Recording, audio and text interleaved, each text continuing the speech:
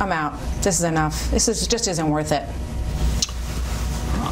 I'm not going to let false accusations drive us out of, the, out of this process, and um, you know, we're looking for a fair process where I can be heard and defend the my integrity, my lifelong record, my lifelong record of promoting dignity and equality for women, starting with the, the women who knew me when I was 14 years old.